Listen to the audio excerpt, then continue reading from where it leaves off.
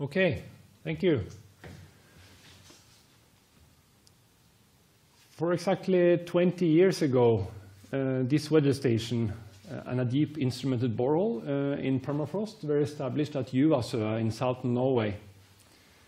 I was a PhD student at that time, and uh, I got the opportunity to, to kind of put this station on the map. Uh, this was one of the first reference stations for permafrost monitoring in Europe. And data from this station was uh, provided the first opportunity for long-term trends to be analyzed. And we also had poor knowledge at that time about permafrost conditions in Scandinavia. And together with my colleagues from Norway, uh, we have now made this and other permafrost stations operational. We have recently launched a new web portal, cryo.met.no.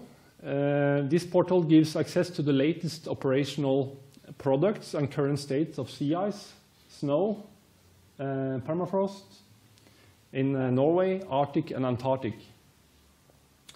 And we are a quite large group at uh, Met Norway, uh, focusing on the cryosphere. So this presentation focuses on the operational permafrost monitoring um, at Met Norway and uh, available and planned products uh, on uh, related permafrost. Permafrost is not visible uh, at the ground surface. So why, why how do we monitor uh, permafrost? Um, and one of the most uh, direct and the best ways of monitoring permafrost is with an instrumented borehole. You need a big drilling machine like this. Uh, and this is the best, best, way of monitoring changes in the permafrost to instrument a deep borehole in permafrost. Uh, permafrost is defined by uh, the World Meteorological Organization uh, as one of the essential climate variables. And the most direct indicator of changes is the thermal state and active layer thickness of the permafrost.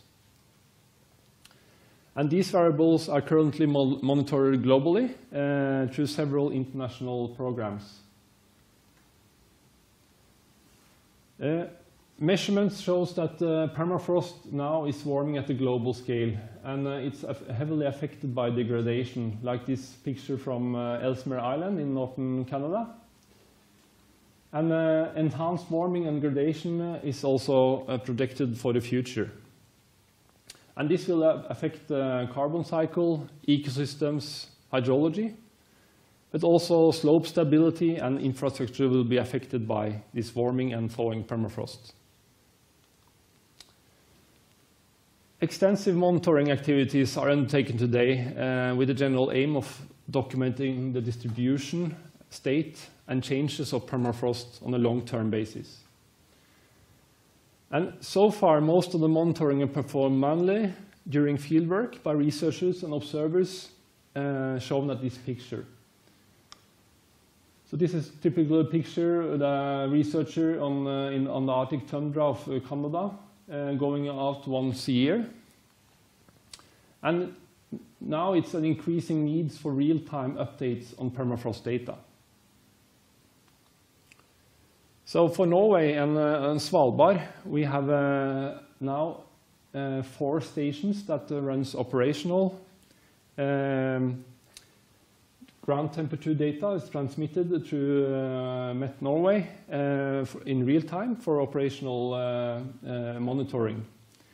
And there are also established operational weather stations with extended measurements program at these sites. And the co-located monitoring provides, uh, um, provides researchers and other users um, with real-time data to study and monitoring effects of, for instance, warm summers uh, on the permafrost. And the data may contribute to early warning systems for uh, natural hazard associated with permafrost thaw. And I will show some uh, examples now for, uh, for, uh, from three of these stations on uh, some of the products that now are available at Cryomet now. So going back to the deep borehole in the permafrost, some of the reference boreholes we now have in uh, Scandinavia and also in Europe and other places in Alaska, they have uh, uh, 100 meter deep. And uh, uh, a lot of the monitoring activity is uh, globally is uh, taken in the upper 10 or 20 meter. So one of the uh, most, uh, one of, one of the most um, critical or most important variable is the thickness of the active layer uh, down to the permafrost, top of the permafrost. And then we have also uh, a depth typically between 10 and 20 meter depth uh, called the depth of zero annual, amplitude that shows the long-term trends in, in permafrost. So these two uh, levels are the most monitoring, monitored parts. So I will start with the ground surface. I'm looking at one of the products from one of these four stations I showed you. This is from uh, Juvvasshøe in southern Norway. Uh, the black line here shows the, this year uh, conditions starting at the 1st of January and uh, ending today.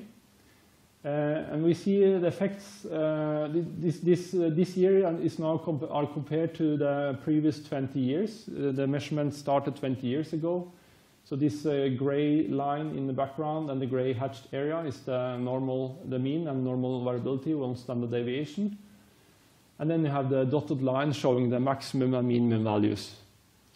So we see now from this uh, data already that part of this winter was uh, extremely warm in, uh, in uh, southern Norway. We had actually one of the warmest winter, or the warmest winter recorded. So this is also clearly visible in, uh, in part of the um, periods uh, monitored.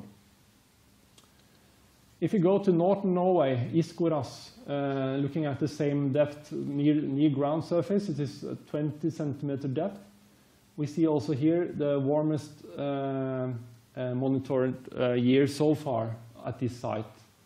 We had, uh, in addition to high temperature, we also have a very thick snow cover this year in northern Norway.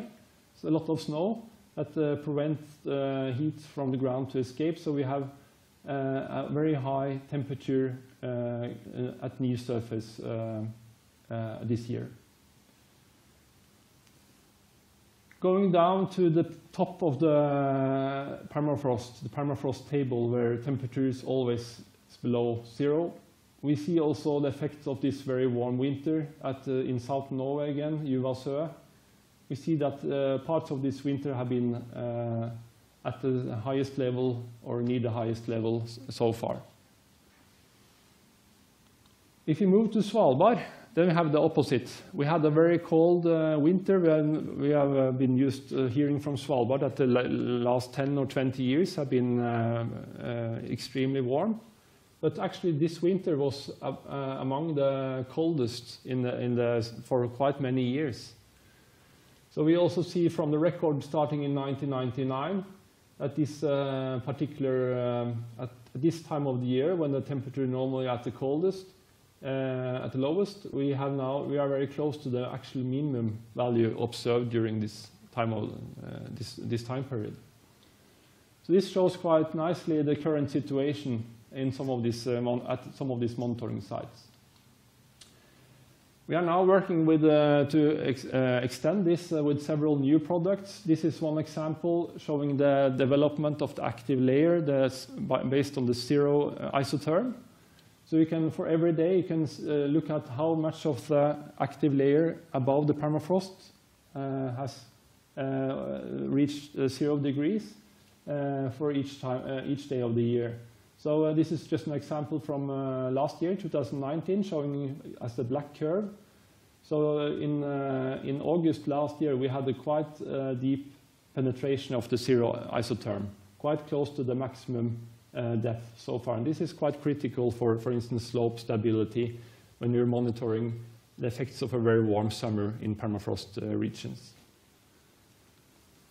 We will also, uh, we will also uh, quite soon uh, present or um, um, uh, publish some products showing the long-term trends. This is an example from 10 and 20 meter depth, close to the zero annual amplitude. You see at 10 meter, we have some annual variability, one degree or so.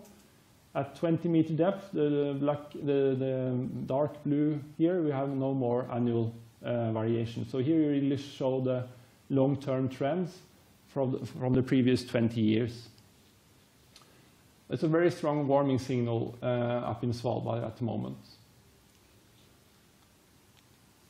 And also looking at the whole section from the surface and down to the bottom of the borehole, 100 meter down in the permafrost, we can also make annual profiles showing the, for instance, this example, uh, average uh, temperature for each year since the measurements started in 1999. And here you nicely also see the strong warming that now uh, is going on on Svalbard, with so far 2019 the warmest year close to the, the zero amplitude depth. So uh, looking at the coming years, we, we think this is a very uh, good uh, contribution to also traditional uh, climate monitoring. And uh, one of the advantages is, is, now we have a co-location with, uh, with the weather station, official weather stations that are located at these sites. And this is a part of the national meteorological infrastructure in Norway. And this uh, ensures, uh, for the long-term perspe perspective, this ensures um, uh, long-term and stable operation and service. And we can now integrate this as a part of the operational uh, permafrost measurements. This, this can be integrated into the global uh, telecommunication system, GTS, uh, to make this data available for the whole, whole world. And this is highly relevant, for instance, for some global um, uh, networks like the Global Cryosphere Watch and Global Terrestrial Network for Permafrost. So thank you.